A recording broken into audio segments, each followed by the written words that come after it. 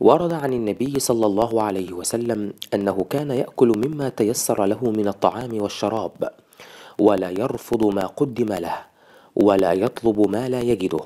وقد روت عنه السيدة عائشة رضي الله عنها أنه كان يحب الحلوى والعسل فقالت كان رسول الله صلى الله عليه وسلم يحب الحلواء والعسل وكان عليه الصلاة والسلام يأكل اللحم مطبوخا ومشويا. فقد روي عن أبي هريرة رضي الله عنه قال أتي رسول الله صلى الله عليه وسلم يوما بلحم فرفع إليه الذراع وكانت تعجبه فنهس منها نهسه. كما كان رسول الله صلى الله عليه وسلم يحب الثريد وهو الخبز المقطع المنقوع في مرق اللحم وربما يكون اللحم معه وأكل عليه الصلاة والسلام الدباء وهو اليقطين أو القرع. وقد يجمع رسول الله صلى الله عليه وسلم بين نوعين من الطعام. فقد شوهد وهو يأكل الرطب مع ثمر القثاء ولم يرد عنه أنه عاب طعاما قط.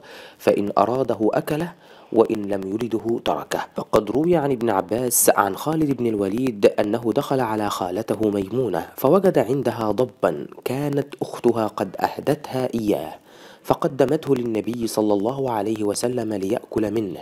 فقالت إحدى النساء أخبروا رسول الله أنه ضب.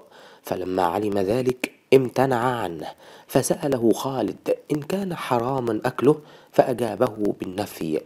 وإنما لم يكن الضباب في بلده لذلك تعافه نفسه. فأكل خالد منه ورسول الله صلى الله عليه وسلم ينظر إليه. وكان رسول الله صلى الله عليه وسلم يصبر على الجوع حتى يظهر أثر ذلك على صوته. وقد يصل به الأمر لأن يربط حجرا على بطنه ليسكت جوعه. وأحيانا يمر شهرين أو أكثر. ورسول الله صلى الله عليه وسلم لا يوقد في بيته نار الطعام. فقد روت السيدة عائشة رضي الله عنها قالت إنا كنا لننظر إلى الهلال ثم الهلال ثلاثة أهلة في شهرين وما أوقدت في أبيات رسول الله صلى الله عليه وسلم نار. فقلت يا خالة ما كان يعيشكم؟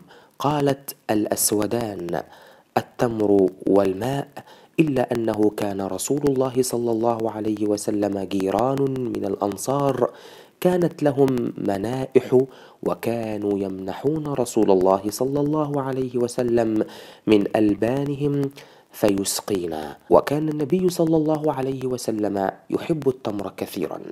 وذلك لما له من فوائد كثيرة لأن التمر يحتوي على كميات مناسبة من فيتامين سي والكالسيوم والمغنيسيوم والفوسفور والحديد والمنغنيز وكلها تساعد في تحسين صحة العظام كما أن التمر يمنحك الحيوية فهو يعتبر مصدر كبير للحديد وكما أن التمر يعالج الإسهال فيمكن أن يساعد التمر على علاج الإسهال لاحتوائه على نسبة عالية من البوتاسيوم. وكما أن التمر يمنع من سرطان القولون كذلك التمر يعزز من صحة الدماغ فهو يساعد على تحسين وظائف المخ كما وجدت الدراسات بأن التمور مفيدة في خفض العلامات الالتهابية. ولكن أن التمر حلو ولذيذ إلا أن تناول التمر باعتدال ضروري لأن الاستهلاك الزائد يمكن أن يؤدي إلى زيادة الوزن ويمكن الاستفادة من أفضل فوائد التمر إذا كنت تستهلك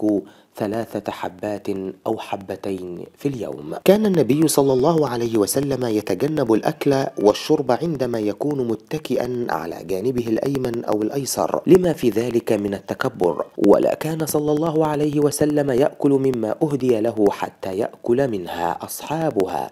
وذلك لما حصل معه في الشاة المسمومة التي أهديت له يوم خيبر ومات بعض أصحابه منها. وكان النبي صلى الله عليه وسلم يكره أن يأكل الطعام الساخن ويتركه حتى يذهب بخاره. وكان النبي صلى الله عليه وسلم إذا بدأ طعامه فيقول بسم الله. ويأمر من معه بالتسمية ويقول لهم إذا أكل أحدكم فليذكر اسم الله تعالى فإن نسي أن يذكر اسم الله تعالى في أوله فليقل بسم الله أوله وآخره.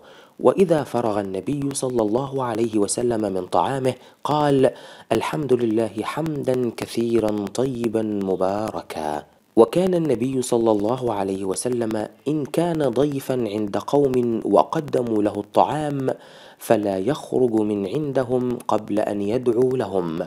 فيقول اللهم بارك لهم فيما رزقتهم واغفر لهم وارحمهم. وكان صلى الله عليه وسلم لا يأكل باليد اليسرى. وينهى عن ذلك. وحين شكا إليه بعضهم أنهم لا يشبعون أمرهم بالاجتماع على الطعام وذكر الله على طعامهم. وكان صلى الله عليه وسلم يسأل عما يقدم له من الطعام ولا يأكل إلا ما هو نافع له.